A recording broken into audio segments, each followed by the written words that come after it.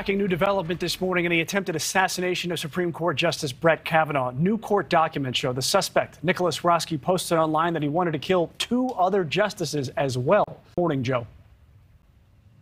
Yeah, good morning, Mitch. What we're really learning from this new FBI warrant that was just released is that uh, Nicholas Roske's decision to try to kill Justice Brett Kavanaugh was not this on the whim kind of thing. There was some meticulous planning here and a serious level of research in the weeks leading up to the attempt and the arrest uh, that he was doing. And we also learned, as you mentioned, that it wasn't just Brett Kavanaugh that may have been in his crosshairs. Let's go ahead and take a look from this document, uh, according to some of these things, his web searches that Roske was looking up in the weeks leading up to this failed attempt.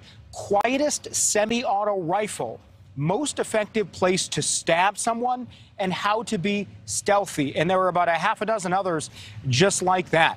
Now, the warrant also details some conversations that Roske had with other users on Reddit and online platforms in which he says he is going to stop Roe v. Wade from being overturned.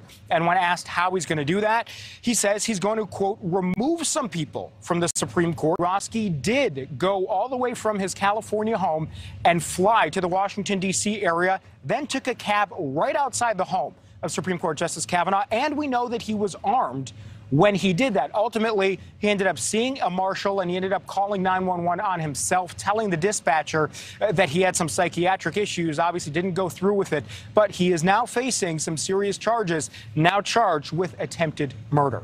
Mitch. That's Joe Khalil live in Washington, D.C. Thank you, Joe. Thank you for watching. Go to newsnationnow.com to find News Nation on your television provider. And don't forget to click the red subscribe button below to get more of News Nation's fact driven, unbiased coverage.